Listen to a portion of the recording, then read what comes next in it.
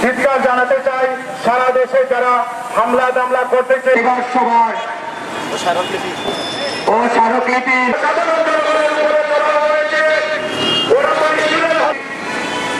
শ্রেষ্ঠ সন্তান বীর মুক্তিযুদ্ধের নকশা অনুষ্ঠান একাত্তর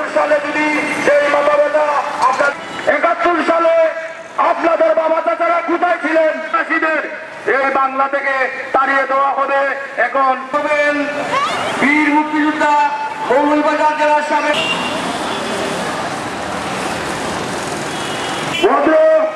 মানুষের মতো কথা বলতো। এরা